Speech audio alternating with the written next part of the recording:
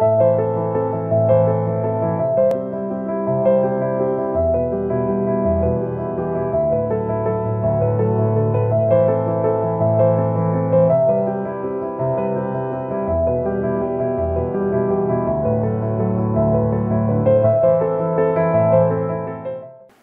a todos, sejam bem-vindos em mais um programa da ADEC TV. Eu sou a Carol e que a paz de Cristo esteja sobre a vida de todos vocês.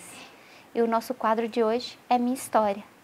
É onde a gente compartilha com vocês um pouco da experiência, da história de vida dos nossos irmãos e das experiências que eles tiveram com o Senhor. É um dos quadros que eu fico mais emocionada porque, né, poder ouvir um pouquinho da história de uma pessoa, o que ela passou, o que ela sentiu, o que ela viveu até chegar até aqui, né? E ouvir as experiências que ela teve com Deus, a luta dela, a fé, é muito bom e muito gratificante. Espero que vocês também estejam gostando. E hoje, quem está aqui e vai compartilhar um pouquinho com a gente é a Marilene a Marilene Mendes dos Santos, da Silva. Seja bem-vinda, Marilene. Obrigada. A Marilene tem 40 anos. Ela é membro da Assembleia de Deus aqui do Templo Central. Ela é casada com o Agnaldo e é mãe do Guilherme. E o Guilherme tem 11 anos. E nós vamos saber um pouquinho da história da Marilene. E só para adiantar, o Guilherme é uma dádiva, um presente, uma bênção, um milagre do Senhor na vida dela. Mas até chegar ao Guilherme tem alguma história e ela vai compartilhar um pouquinho com a gente. Sim. Marilene, é, quero saber primeiro assim, quando começou a sua história, quando você teve aquele, a gente fala de, eu sei que você já veio de um berço cristão católico cristão. Sim. Você disse que teve uma, uma conversão, a gente chama de conversão. Sim. Quando você nasceu da água do Espírito, quando você conheceu a palavra. Aí eu quero que você comece daí. Com quantos anos foi isso? Foi com 24 anos, né, que eu conheci Jesus, né, que eu levantei as minhas mãos cansada e recebi o Senhor como único e suficiente Salvador da minha vida. Você foi aos 24 anos que você entendeu o que era receber Isso, o Senhor. O que era aceitar Jesus. O que né? era aceitar Jesus. Isso, porque o aceitar Jesus é uma renúncia, né? Muitas pessoas às vezes acham que religião salva. E não é religião, não é denominação, não é igreja, não é placa de igreja, né? É só Jesus. Ele é o caminho, a verdade e a, a vida. vida. Né? E, ninguém, ninguém vai ao Pai a não, ser, ser por Ele. E eu fui por Ele. Ele fala: ninguém vem ao Pai a não ser por mim. Isso. Verdade. E você foi por Ele. Eu fui por Ele. Fui no momento de dor, né? Porque foi esse o meio. Hoje eu vejo que foi esse o meio que Jesus achou para me resgatar. Marilene, você disse que aos 24 anos você estava passando por um momento difícil, um momento de dor. Isso. na sua vida.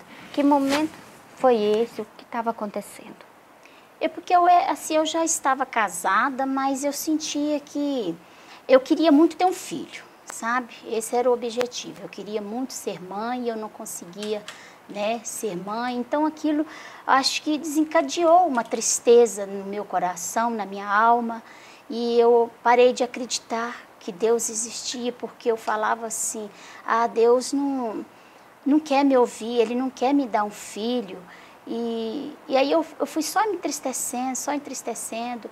Eu sentia fortes dores de cabeça. E, e aí, um determinado dia, no meu trabalho, eu, eu estava ali, eu já fui trabalhar cansada, com dores de cabeça. E eu cheguei ali e uma voz falava para mim assim: é, você, você, você tem que morrer. Se você morrer, isso tudo vai acabar, esse sofrimento vai passar. Então você já estava num quadro de depressão? Já estava, só que eu não sabia até então. E, e os, os, os, sintomas que você vinha sentindo? Era dores de cabeça. Dores de cabeça, É, você eu chorava cheguei, muito. Chorava muito. Eu cheguei a fazer Queria só dormir. tomografia, sabe, na minha cabeça e os médicos não encontravam nada, a não ser uma mancha preta que uma vez deu, mas o médico não soube diagnosticar o que era. Hoje, né, eu creio que foi tudo um plano de Deus para mim, para minha salvação. Aí você ouviu uma voz. Aí eu ouvi uma voz falando para mim que era para mim me matar. E ali no meu serviço, onde eu trabalhava no prédio, eu tentei pular do prédio. Mas só que houve duas vozes falando comigo. Uma falando para mim me matar, que eu ia acabar com aquele sofrimento, porque ninguém gostava de mim, eu não ia ser mãe. O diabo foi falando aquilo para mim. Era uma Hoje opressão. eu sei que era o diabo, né? Antes eu não sabia. Eu achava que eu estava ficando louca. Aí a outra voz falava assim para mim: não, não faça isso. E falava: eu, Jesus te ama. E eu falava assim: ah, mas se ele me ama, por que, que ele está deixando eu sofrer tanto assim? E aí, no exato momento, quando eu fui para a sacada para mim tentar um suicídio, porque na minha mente eu achava que se eu fizesse isso ia acabar o sofrimento, né? E aí, quando eu cheguei na sacada, a minha irmã chegou lá de baixo e me viu. E ela disse para mim, Silena, eu não ia passar aqui. O meu, meu, a minha, o meu destino era outro lugar para me passar. Mas aí algo me impulsionou para me passar aqui nessa rua. E eu só falei para ela assim, eu acho que foi Deus que te trouxe aqui. Você já estava preparando para pular. Já estava preparando para pular. E eu, eu, eu ficava assim meio que né, balançando no meio da sacada para mim pular. Porque eu achava que aquilo ali ia acabar, né? Eu, eu ia pular e ia acabar o meu sofrimento. Né? Mas aí então ela correu comigo, levou eu embora e me levou lá para o serviço dela e tentou arrumar um, um, um psiquiatra para mim, mas no, no momento não tinha como, porque era, era véspera de feriado, né? Ia ser no outro dia seguinte, ia ser um feriado de dia 12 de Nossa Senhora Aparecida, né? E aí o médico falou que só ia poder me atender daí uma semana. Ela me levou lá para o serviço dela, chegando lá no serviço dela, a, a patroa dela me mandou, mandou ela me levar num, num, num lugar que ia me, ia me ajudar. E ela me levou. Foi aonde que tudo começou. Ela Piorou? piorou. Piorou a minha situação. Porque ela tentou meio que me ajudar. Foi um meio que ela tentou, né, para me ajudar, mas infelizmente Ela não tinha discernimento, ela não, tinha, tinha, conhecimento. Não, ela me levou e aí o, o moço lá, né, não vou revelar quem nem aonde, né, só sei que foi num centro espírita que ela me levou. Mas o intuito dela era me ajudar. Ela queria que eu, porque eu falava para ela, Márcia, eu tô ficando louca. Eu tô ouvindo vozes e, e isso eu não sei se isso é normal. E aí, chegando lá nesse moço, ele fez uma lista de coisas para ela, para mim chegar em casa e fazer, né, para ela fazer para mim. E chegando em casa, ela foi para a casa dela para tentar arrumar as coisas que ele tinha pedido, sabe? Sal grosso, rosas. E foi uma coisa assim tremenda, sabe? E ele disse para E mim nesse meio tempo você já tinha um pouco de conhecimento da palavra. não, não, Não tinha, tinha, nenhum. Não tinha, nada, nada. E eu achava assim que eu nunca assim, eu nunca tive certeza que existia esse lado do mal, sabe? Que pessoas poderiam fazer maldade para o outro, sabe? E eu fui vítima na, disso. Na verdade, é porque as pessoas não têm o discernimento que existe um, realmente o mundo espiritual, ele é real, né? É, ele é. E que o inimigo das nossas almas, o diabo, ou Satanás e e seus seguidores, ele é muito real. Ele é invisível, mas ele é Ele real. é real. E, aí voltando, né, eu cheguei, aí eu, aí eu cheguei em casa e fiz algumas coisas que ele mandou eu fazer. Uhum. Ele falou para mim que era para mim fazer um mingau, sabe, coisa simples, mas que era para mim tomar assim, não tomar número par, tomar número ímpar. Colheres, sabe, colherada daquele mingau. E ali eu consegui tomar aquele mingau, assim, as colheradas, tomei sete colheradas, né, assim, para fazer o número sete, né, que era o número ímpar. Aí eu tomei aquele mingau, tomei um café margoso que ele mandou tomar. E aí eu entrei para dentro da minha casa e ali eu já comecei a ver vultos. Eu começava a ver coisas sobrenaturais. E o meu esposo ficava assim, não tem nada aqui, Lene. Eu falava, tem, tem pessoas aqui. Até o meu pai, que ele morreu quando eu tinha seis anos de idade, sabe? Ele aparecia para mim, mas não era ele. Eu, né, no, hoje eu sei que não era, não era ele, ele, mas ele vinha, o diabo se fantasiava né, na, na de, do meu pai para que eu não tivesse medo. E ali o meu pai, né, aquela, aquela aquele ser parecia perto de mim e me chamava, me chamava, vem minha filha, vem. Aí quando eu ia para, eu falava assim, pai, me tira daqui, me tira daqui porque eu não quero mais viver, eu quero ir para onde o senhor está.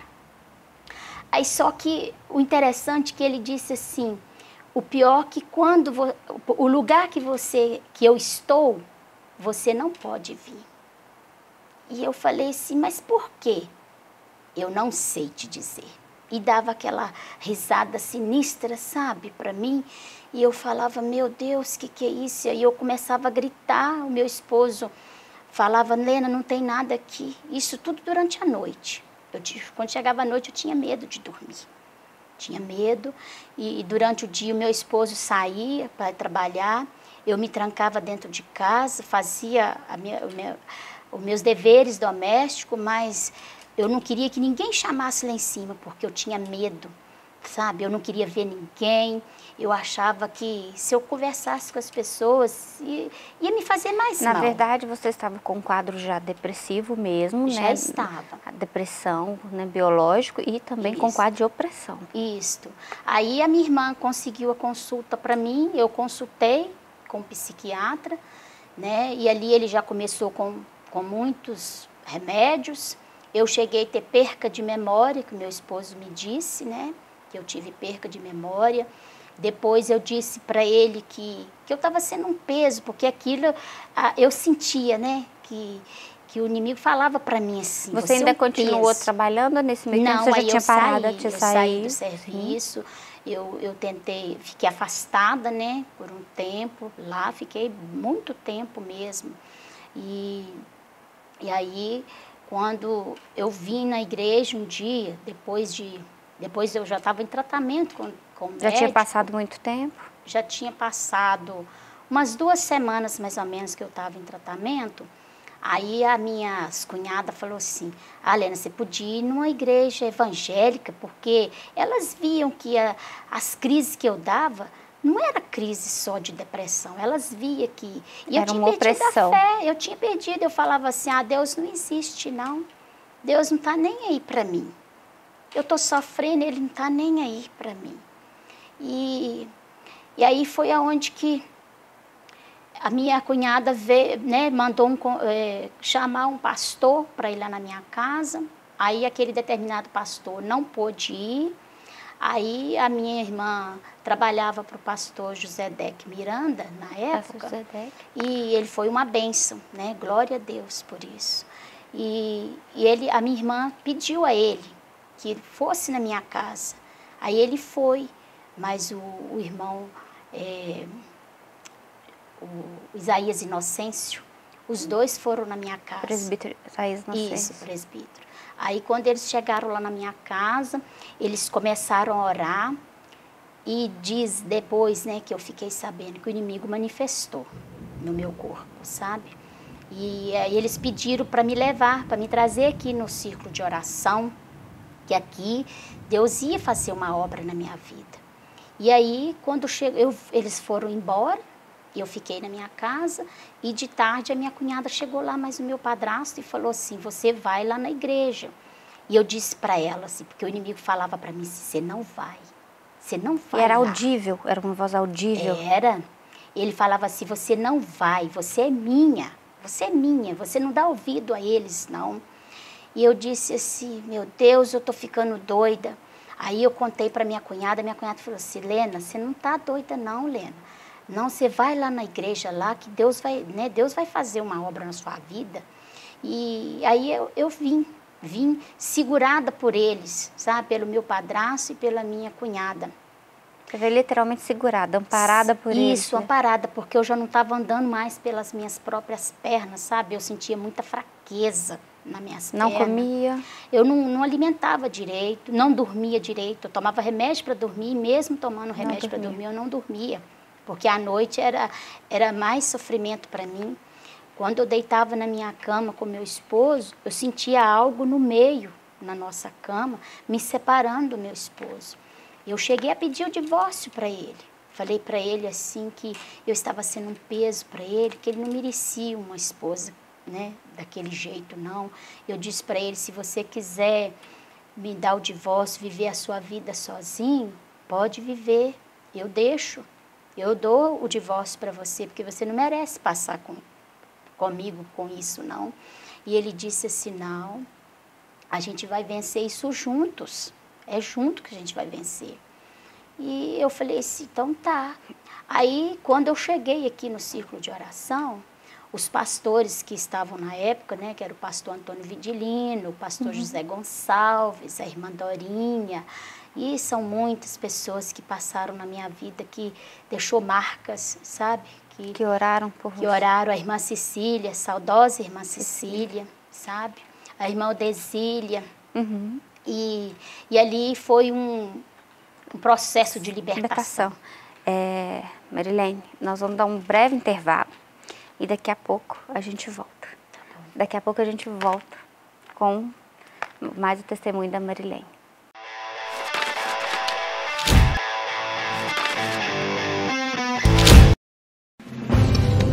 Uma verdadeira história de fé, renúncia, desafios e conquistas. Você irá se emocionar e extrair lições extraordinárias da biografia de um dos mais expressivos líderes do movimento pentecostal no estado de Minas Gerais. Recomendada por influentes líderes cristãos. Adquira agora mesmo Ari Coelho, um legado de fé e descubra detalhes de uma história de vida que pode transformar a sua. Um produto com a qualidade CPAD.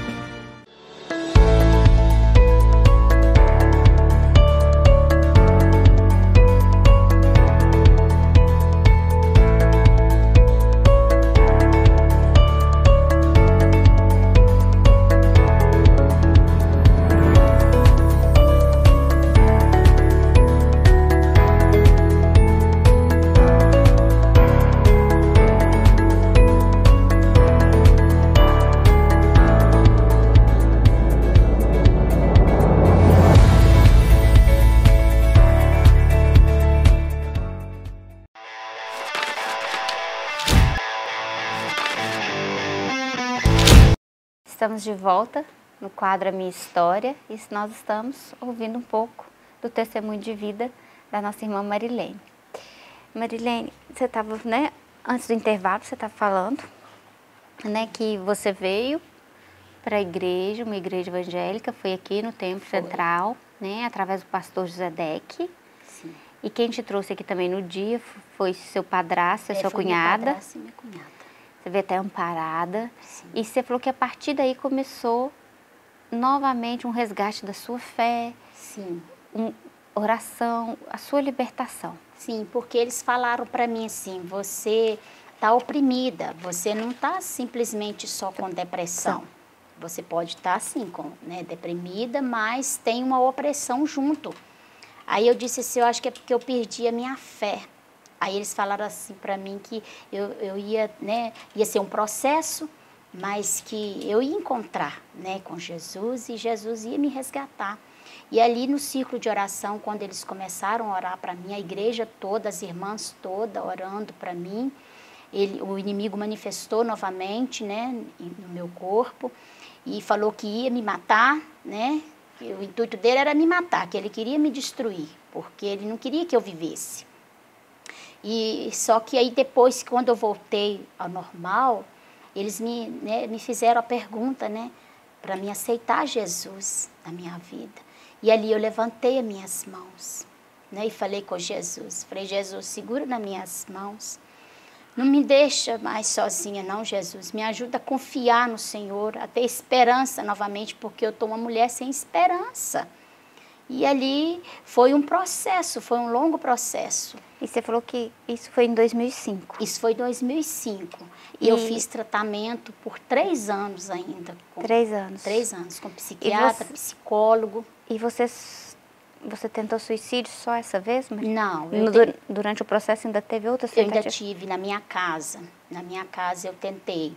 E tentei três vezes a, com a faca. Com a faca. Isso. Você chegou a se cortar? Não, não cheguei porque parece assim, Deus tinha, né? Parece não, Deus tinha um plano na minha vida, então assim, ele nunca deixou eu eu me feri, sabe?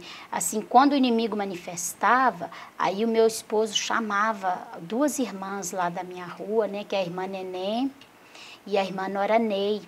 Uhum. Elas iam lá em casa e começavam a orar e expulsar e aí eu me lembro que quando eu voltava ao normal, meus braços estavam tudo assim, é, ferido, tudo roxo, porque, por causa de, de hematomas, porque disse que eu tentava me morder, eu, eu, eu dava abraçadas nela, né, assim, nas irmãs, para não, para me eu não queria que elas me segurassem. Eu queria, eu, eu, eu, o inimigo estava tentando me matar mesmo, né?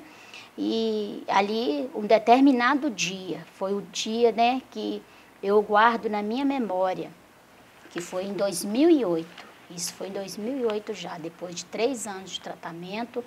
O... Nesses três anos tendo altos e baixos? Altos e baixos, né? Assim, a, a minha autoestima, eu né, foi lá embaixo, né? Assim, mesmo tomando remédio, mesmo assim, eu acho que eu ainda não estava liberta totalmente, eu ainda não estava convertida direito, sabe? É, é porque a, né, a baixa estima já é um quadro, já é está ligado a um quadro depressivo. Tá, está ligado. E realmente quando a nossa autoestima ela cai, a cai ou praticamente ela nem existe mais, é muito complicado. É muito. É. Eu me achava feia, eu falava que eu não gostava do meu corpo, não, não gostava de nada de mim, sabe? E eu falava com meu esposo, o que, que você achou em mim? O que, que você viu em mim? Por que, que você casou comigo? Eu ficava fazendo esse tipo de pergunta para ele, sabe? E ele falava para mim assim, você é uma pessoa maravilhosa, Lena. Você é uma pessoa maravilhosa. Eu falei assim, eu não, eu não sou. Eu não sou essa pessoa. Mas é porque é quando a gente está nesse quadro, e muita gente ainda não tem um quadro de depressão, esquece, né? Que a gente é obra-prima do Pai, né? Verdade. Todos nós somos obras-primas do Senhor. Verdade. Então, a gente, a nossa autoestima tem que ser elevada, né? Tem. E realmente, eu, eu, entendo assim, né? A gente já vi pessoas em quadro de depressão muito perto, familiares, e é realmente muito triste. É, é. muito triste, né? Conhecidos que perderam a vida mesmo devido a um quadro de depressão. Verdade. E fora a depressão tinha a opressão. opressão. Verdade. E o seu marido, ele manteve firme nesses Três é. anos, três, quase quatro anos. Isso. E ele, e assim, e, e aí o pior de todo, de tudo, foi quando eu tive muitas falsas profecias na minha vida, sabe? Que assim algumas irmãs chegavam e falavam assim que eu estava grávida. E ali eu chegava em casa e falava com meu esposo, e meu esposo falava, Lena, você não está grávida. E eu falava, não, eu tô. Aí eu pedia dinheiro ele para fazer ultrassom, chegava lá, nada. Fazia exames, nada. E tudo coisa da minha mente, coisas que, que é, os, os, falsos profetas, infelizmente. Porque, na verdade, né, Marilene, depois que a gente tem o discernimento, a gente sabe que a maior profecia está aqui, né? É, com certeza. Está na palavra com certeza. Mas o inimigo sabia o meu ponto sabia fraco. Sabia o seu ponto fraco, ele sabia que era que não queria poder gerar. Mãe. Isso, ele, ele sabia que eu queria ser mãe. E você já tinha, nesse período todo, você já tinha feito alguns exames para saber se você, o seu corpo não podia gerar, ou se era seu Fiz. marido? E era, você não podia? Eu fiz, meu esposo fez também, porque né, devido a, já tinha uns três anos, a gente estava tentando e nada, né? Aí o meu esposo falou, não, vamos fazer os exames. Aí a gente fez e, e pela medicina, os médicos disseram assim que não tinha nada de errado para conosco. Ele só falou assim que você está ansioso demais. Então, se você ficar ansiosa, você, né, isso tudo atrapalha. Aí, um determinado dia que alguém falou para mim assim que eu estava grávida, isso é uma falsa profecia. Falou que eu estava grávida e que era uma menina e que a minha menina estava sendo gerada nas trompas. Hum. E eu corri, corri para casa e falei com meu esposo e falei para ele eu quero dinheiro amanhã para me fazer ultrassom, porque eu preciso ver como é que eu estou. E eu fiquei assim, sabe, obstinada com aquilo. E quando eu cheguei no consultório do médico, a minha cunhada foi comigo.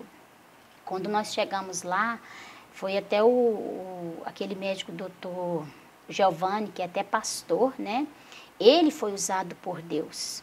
Ele disse para mim, ele começou a fazer ultrassom em mim e falou para mim assim: Mas eu não estou vendo nenhum bebê aqui. Aí eu, na maior inocência, sabe, virei para ele e falei assim: Olha nas trompas, doutor. Aí quando eu falei assim, ele parou de fazer o exame. Ele falou: Como é que é? Eu falei assim: Olha, é, é porque meu, meu neném deve estar tá nas trompas. Aí ele falou assim: Quem disse para a senhora isso? Eu falei: Se alguém falou isso para mim. Eu recebi uma profecia e a pessoa falou para mim que a minha menina, que é uma menina, e ele falou assim: "Não, você não está grávida". Aí ele começou a fazer o exame de novo, mostrou para mim todo o meu corpo ali, né, nas trompas e disse para mim assim: "Não há bebê aqui". Ele falou: "Olha, o negócio da senhora que a senhora está obcecada por isso". E a única coisa que ele disse para mim assim que eu guardei, ele disse para mim assim que Deus não trabalha na ansiedade.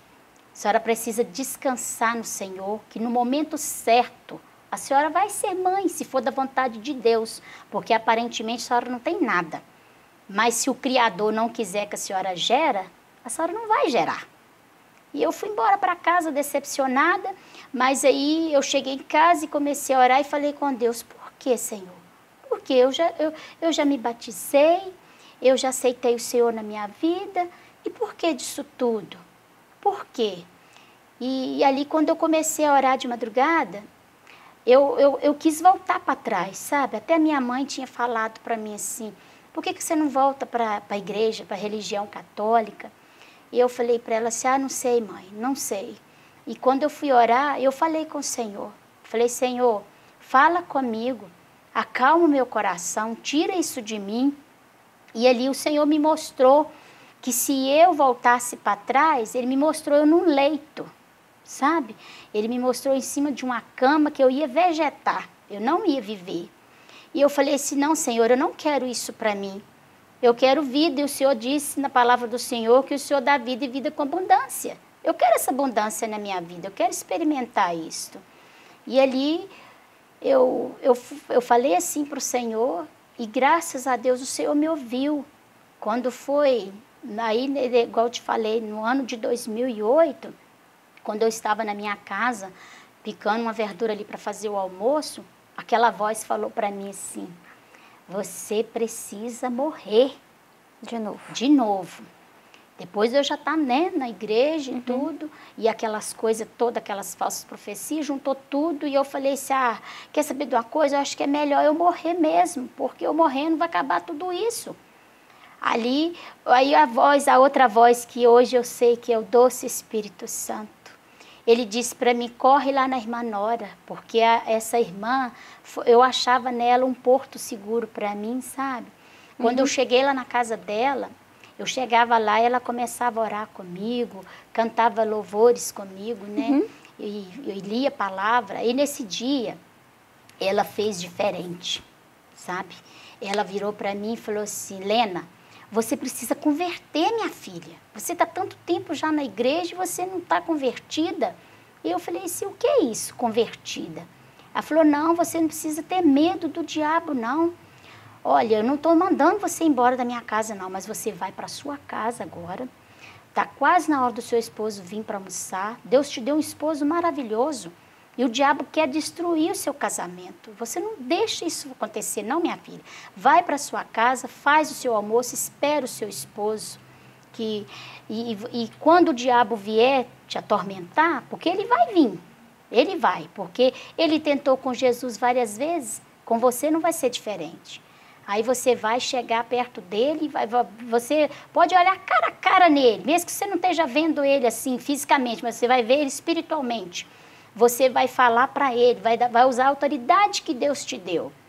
Vai falar para ele que você não tem mais medo dele, E ali ela me instruiu, eu fui embora para casa. E dito e feito, quando eu cheguei lá, que eu peguei a faca de novo para cortar uns legumes que eu estava picando, ele veio de novo, né? Falou para mim assim: não ouve aquela mulher, não. Que a mulher não sabe de nada, não. Me ouve.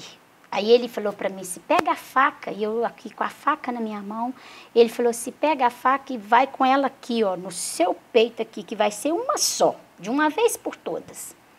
E ali eu segurei a faca, da, da primeira vez, eu larguei a faca, joguei a faca lá e corri fui para casa dessa mulher.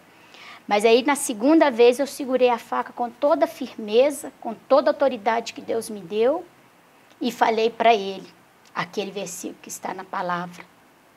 Submeta-se a Deus, resista o diabo e ele fugirá de, de vós. Quando eu falei assim, falei esse diabo, eu não aceito Satanás você mais na minha vida. O meu corpo é morada e templo do Espírito Santo. Você vai sair da minha mente agora, você não vai mais entrar na minha mente, porque eu não vou te dar lugar. Eu vou dar lugar para o Senhor Jesus, porque Ele foi lá na cruz e morreu, e pelas pisaduras dele eu fui sarada. Eu fui, eu fui tratando com o diabo na palavra, como Jesus venceu ele na palavra, eu venci ele na palavra. Quando eu terminei de falar tudo aquilo ali, foi um combate, eu ali falando para ele firmemente. E falei, eu vou olhar só para Jesus, que é autor e consumador da minha fé. A partir de hoje, você não tem mais lugar nessa casa, no meu corpo, mais nada. Você posicionou. Me posicionei, era isso que Deus quis que eu fizesse. Sabe? Quando eu terminei de falar tudo isso, ele nunca mais voltou na minha mente. E você melhorou? Melhorei. Aí, quando foi no ano seguinte, em 2009, eu, dois, no início de 2009, eu recebi uma profecia aqui dentro da igreja, sabe? E eu pedi para o Senhor, assim, que me desse discernimento, que eu não queria mais ser enganada por falsos profetas. Eu falei assim, Senhor, me usa, me dá sabedoria, discernimento do Senhor, para que eu não venha ser enganada mais, para que ninguém me engane mais. E ali, um determinado dia, num culto, né, de, de, de, de terça-feira, a esposa do, do, do, pastor José Duarte, a irmã Alípia, Deus usou aquela mulher para falar para mim assim, irmã, Deus tem duas bênçãos para te dar, mas Ele quer uma renúncia sua. Eu disse para ela assim, mas o quê? O que, que, que, Jesus quer que eu renuncie? O que, o que ele quiser eu tiro. Aí ela falou para mim assim, olha, o Senhor quer que você tire os esmaltes. Porque, assim, não, não sou contra ninguém usar, tá, irmãs? Eu não estou aqui. Isso foi a uma gente experiência. sabe que o, o, Senhor, né, com cada um, ele, ele trata ele, de uma forma. Verdade. Aí ela disse assim, olha, eu tinha feito a minha mão, tinha feito tinha passado uma base clarinha, que eu nunca gostei de coisa assim escura, não. E no meu pé eu tinha passado um rosinha bem clarinho. Aí ela falou para mim assim: Deus quer que você tire isso aqui, ó, isso aqui da sua mão. Se você tirar, ele vai te dar duas bênçãos, não só uma, mas duas. Aquela que você pediu, eu não sei o que, mas na hora certa o Espírito Santo vai te mostrar. Aí eu falei assim: tudo bem, eu vou tirar. Aí eu senti na hora que era de Deus sabe? Porque foi diferente das outras vezes. Aí eu cheguei em casa, tirei aquilo ali. Esse é o discernimento de espírito. Isto. Eu cheguei em casa, tirei aquela base, aquele esmalte, e quando foi naquele mesmo ano, né? Isso foi em dois, né, 2009. Foi no mesmo ano, eu fui no doutor Zé Geraldo, né, que era o meu psiquiatra. Não tem problema eu falar o nome, não, uhum. porque, uhum. né? Era o seu médico? Problema. Foi o médico que ele me ajudou, né? te tratou? Me tratou muito bem, graças é, a Deus. Porque tinha opressão, mas também tinha doença, tinha. né? E a gente também tem que procurar Isso. o profissional para tratar a doença. É. Ele, aí ele, né, eu, eu consultando ali com ele, aí ele, ele simplesmente, todas as vezes quando eu ia lá, eu falava com o Senhor assim, Senhor, faça com que ele veja que eu estou bem e tira um pouco do meu remédio. Porque ele tirava aos poucos, sabe? Não podia tirar tudo de uma vez, né? Ele falava assim que ele ia diminuindo. De um ele passava para meio, depois um quarto. E foi tirando. Foi tirando. Aí, Aí, um determinado dia, ele falou assim, ele, né? eu já tinha recebido essa profecia, né? Porque no início do ano, em janeiro de 2009, eu tinha falado para o Senhor, na virada do ano, eu tinha falado com Jesus que no ano de 2009 eu queria que fosse um ano diferente na minha vida. E eu falei para ele assim: Senhor, se o Senhor quiser e puder me abençoar com um filho, eu gostaria de ser mãe. O Senhor sabe o desejo do meu coração. Mas já segurei, vez o seu pedido foi assim, se o senhor quiser. Se o senhor quiser, porque a gente tem que saber como pedir, né? Eu falei, se o senhor quiser, poder o senhor pode, mas se o senhor quiser me abençoar com essa bênção, eu vou ser muito grato ao senhor. Mas se o senhor não, se o senhor não quiser me dar esse filho, tire esse desejo do meu coração, porque eu já não aguento mais sabe? E, e, em 2009 ele te abençoou? Aí em 2009 ele me abençoou. Quando, né, nesse mesmo ano de 2009, ele, eu cheguei lá no, no, consultório, eu saí de casa e falei assim, meu Deus, abençoa que ele veja que eu esteja bem e tira mais um pouco do meu remédio. Mas para minha surpresa, porque foi uma surpresa, ele tirou tudo de uma vez. Ele disse para mim, se eu estou vendo que a senhora está bem, então assim a gente vai fazer o seguinte, a senhora não precisa tomar remédio nenhum mais, não. A senhora vai ficar, a, a senhora está liberta de remédio. Amém. Então, assim, eu espero nunca mais ver a senhora aqui nesse consultório aqui. Eu virei para ele e falei, em nome de Jesus, Jesus, eu não vou voltar aqui mais, doutor. Aí eu só falei para ele assim, mas o senhor falou que não podia tirar tudo de uma vez? Ele falou, não, mas eu estou vendo que a senhora está bem. E ali eu glorifiquei o nome do Senhor ali dentro daquele consultório e vim embora para casa. Foi em 2009, exatamente em qual mês que você soube? Depois que o seu médico tirou todos os remédios? Foi uma? É, foi em março. Foi uma das bênçãos? Foi. Eu imagino que seja, foi, né? Estou deduzindo. Foi, né? No mês de março, no início de março, dia 8 de março, ele tirou, ele tirou meus medicamentos. Quando foi em maio daquele mesmo ano, eu já estava grávida de dois meses. Então você engravidou de Deus. em março mesmo? Possível, né? Eu acho que sim, porque foi dois, foi, né, dois meses depois praticamente. Você já está. Eu já, né, eu comecei a sentir os sintomas e aí eu fui lá nele, né? porque a minha cunhada ficou assim, não, você só pode estar grávida.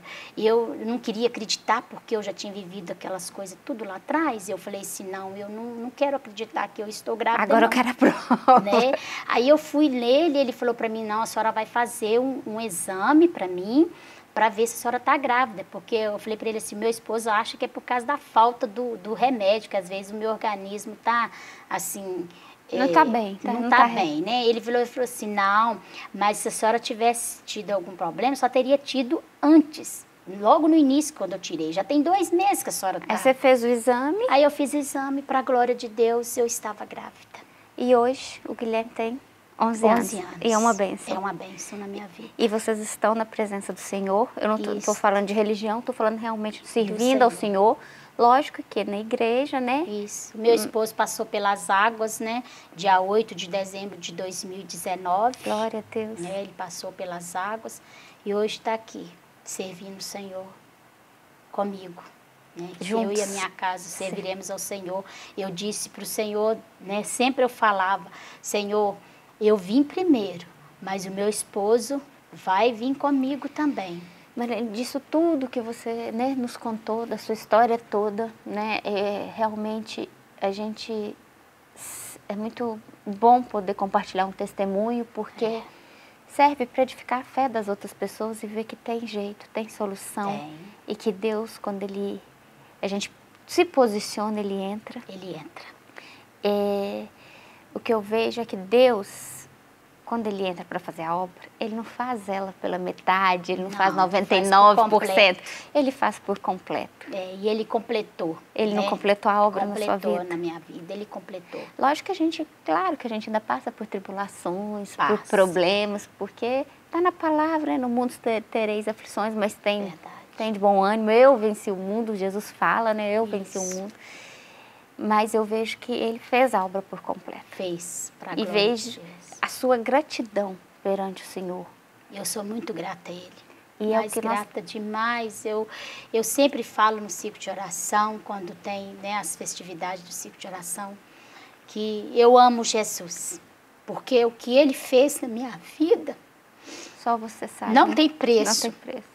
Não tem preço o que ele fez na minha vida, sabe? E no fundo só você realmente sabe. Só eu sei, porque essa foi a minha experiência com ele, né? Cada um tem uma experiência. Cada um tem É, uma. e essa foi minha experiência. Eh, Tem um, no, no mundo diz assim que tem um ditado aí que eles falam, ah, não vem por amor, vem pela dor. Não existe isso, sabe? Deus tem um momento certo Pra tudo. para tudo. E se a gente souber esperar a hora certa, É. que a vontade dele é boa, Ela é perfeita, perfeita, e agradável. Marilene, te agradeço. Desculpa aí, Não, a gente chora aqui, esse quadro é assim mesmo. eu amo falar Te de agradeço. Jesus. A sua família é linda. Que Deus continue ab- abençoando vocês cada vez mais e fortalecendo a sua fé, do seu esposo e do Guilherme, seu filho, né? Amém. Que cada dia ele possa renovar a sua fé e a de todos nós. Amém. Espero que vocês, né, tenham sentido um pouquinho do que foi, né, a história de vida da Marilene, da Lena, É. e que vocês possam compartilhar também com outras pessoas, porque tem jeito. Para tudo tem jeito, Pra né? tudo tem. E que a nossa maior profecia revelada é Jesus. E é ele que precisa entrar, fazer morada, né? Ele está à porta, ele bate, e se a gente deixar, ele entra e ele senta à mesa e ele ceia com a gente. Com certeza. E ele faz tudo novo, tudo de novo. Fiquem com Deus, que Deus os abençoe e até, o próximo, até a próxima edição do ADEC TV.